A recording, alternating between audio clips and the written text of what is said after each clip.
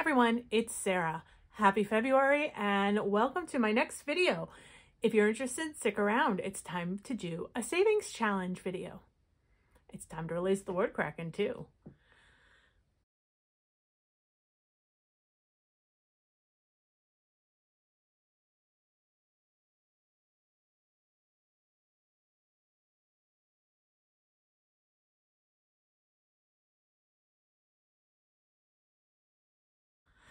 All right, everyone, it's time for me to do another savings challenge stuffing because I have a ton of rollover cash and it's a burning a hole in my pocket.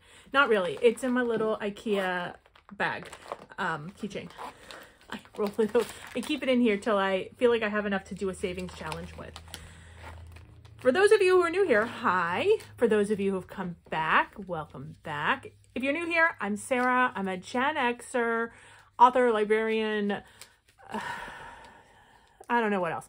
I lose track of who I am sometimes, but I'm trying to figure out how I spend my money and how to do better about saving and planning for my money, especially because I'm an indie author. So all the expenses of publishing fall on my shoulder. And it took me a lot of long time to realize it, but I've been going into debt by publishing my books and I don't want to do that anymore. One of the ways I've found is exciting for me and helps me save is by doing savings challenges. So each week I give myself $200 to spend on groceries and whatever it is that I want to buy. Whatever is left, I roll over into the savings challenges and I make my own savings challenges based on my books because I like to do things myself. I like them the way I like them, so I just do it myself. Uh, so what do I have? This is about two weeks of rollover. I have 20, 40, 60, 5, 75, 85,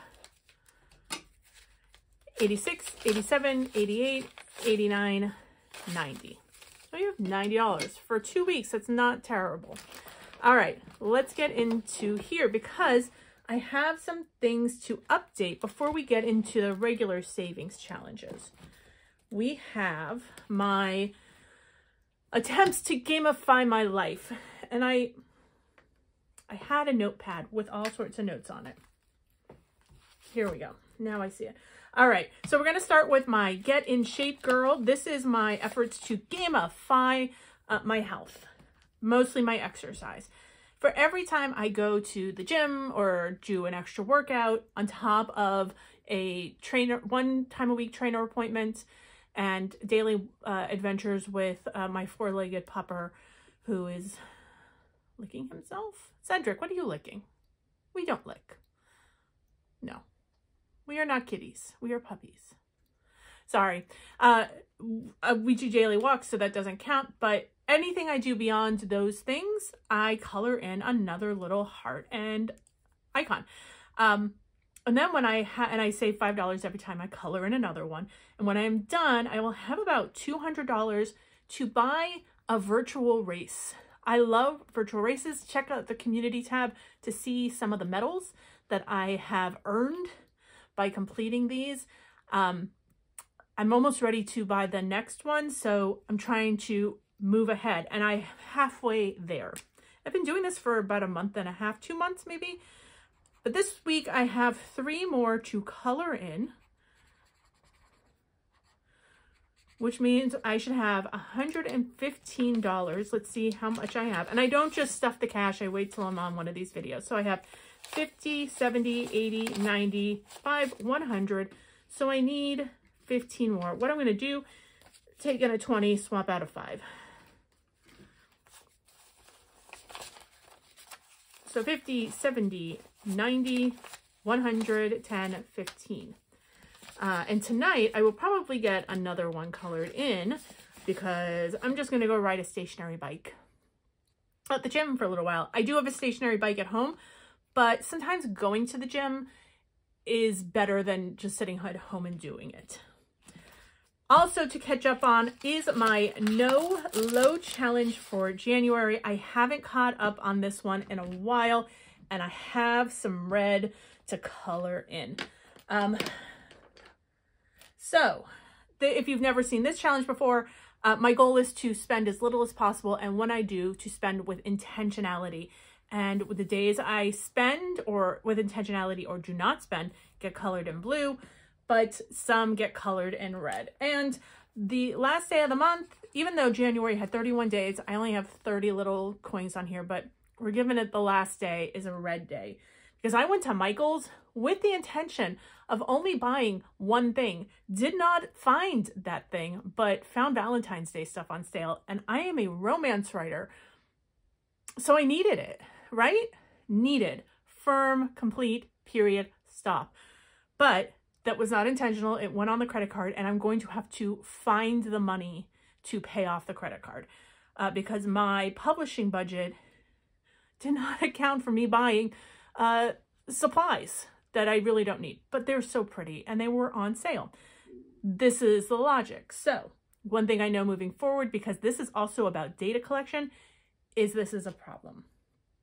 I also forgot about two other days, so I'm just going to color in the last two days, last three days of the month. Um, I forgot to write these down, but one day I went over to a local um, we call it mill number five. It's an old mill that they have converted into like a small shopping center with a lot of small businesses. And my favorite baker slash marshmallow maker is there. And again, this is for writing promotion. The marshmallows she makes, she showed me how she makes them, how she runs her business. And I used it as research for a store. Not this purchase.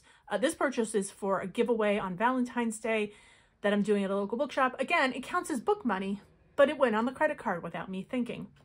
And then the third day, I bought something within Apple Games and I totally didn't even think about it. So I now know I need to think better about these little businessy expenses and um, better prepare for the in-game Apple purchases. But everything else was good. I had a really great January. So I have to put aside $30 for this one. So we'll take a 20 and two fives. What will I do with this? I don't know yet. We're going to keep it aside, but I'm also going to put in the February one.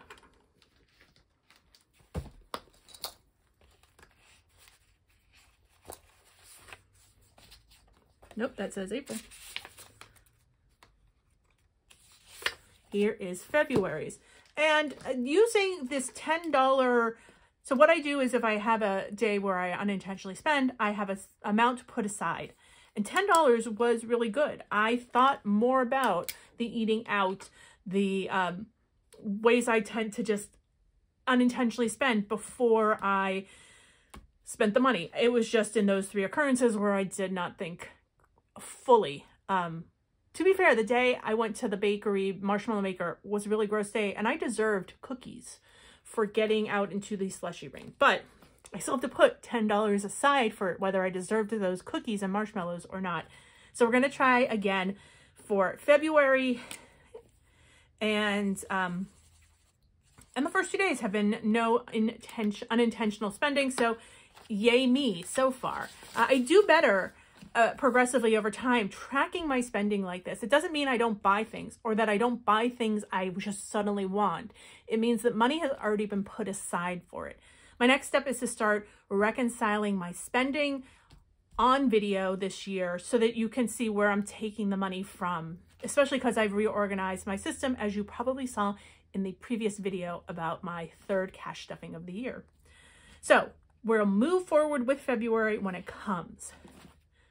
Also, bingo. Uh, if you're not playing along, the second of the month, I debuted my bingo game. It's my $100, my 100 subscriber uh, special. Uh, I made the free bingo games. You can get 30 cards for free and print them as many times as you want. And I'm playing at the end of every video, we will play another round. And since I debuted the game, I have done one other video. And so there should be $10 in here. There's five, so another five. So those are my saving obligations. Those are my challenges to gamify. But these over here are my book-related savings challenges. Not sure where this money will go. I'm just having fun with my money and my books. I write, for those who don't know, romantic comedies, low heat, Jane Austen modernizations. I write uh, uh, Lovecraftian horror, dark fantasy, and I write more epic fantasy. So I make something for each of my games, I mean for each of my books, and then I uh, color them in. I keep them pretty simple. For these, you can see it's just a color in. For every $4 I put aside, I color something in. And by the end, I'll have a 100 bucks and I have three more here. So that is $12. So let's see. We have 10, 12, and that means I should have a $100 to put aside to something else. Let's count it to make sure. We have 55, 65, 70, 1, 2, 3, 4, 5, 6, 7, 8, 9, 80, 1, 2, 3, 4, 5, 6, 7, 8, 9, 90, 1, 2, 3, 4, 5, 6, 7, 8, 9, 100. So there's $100. Another savings challenge down. Let's color in the bubbles. This book is a modernization of Emma. If you've seen Clueless, you kind of know the Emma story. She's a matchmaker. She's not great at it, but she's super cute and a little annoying. But um, this takes place in a college dorm uh, and is a friends to lovers story, if you like to know your tropes in romance. Also an academic romance, da da da da da. So I am going to put this back in here but also pull it out because we're going to talk about where this is going to go in another video. Stay tuned for my savings challenge, uh, my business stuffing, because that's where it's going to go into business. Next is for the first book in that same series. That's the 21st Century Austen series. I wrote, the first book in the series is Persuasion, Modern Persuasion, mod Modernized Persuasion. This is a second chance at love story set around an author's book tour with his publisher. It's my favorite. It is free on Amazon under Sara Marks. That's who I am. It's got a beautiful yellow cover. Uh, it is free on Amazon, Barnes & Noble, Kobo, Apple, wherever for the ebook. So uh, I have this crossword puzzle that I do. And when I have some extra cash, I, um, let's see what I have. 10.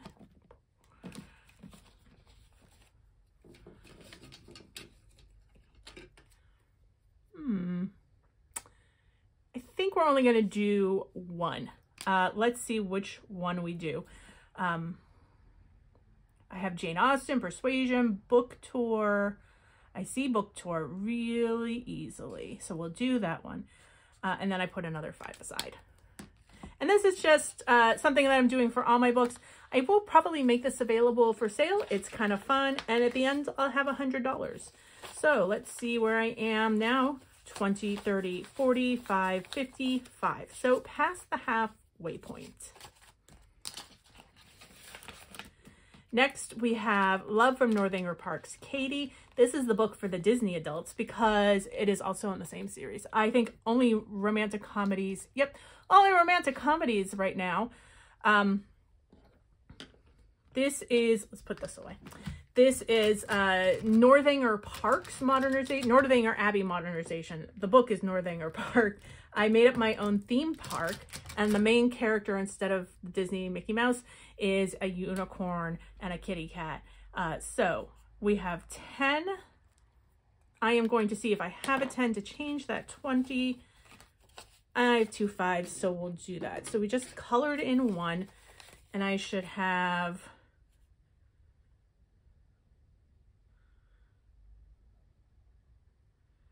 Twelve. So I should have 120, 20, 40, 60, 80, 120. Perfect.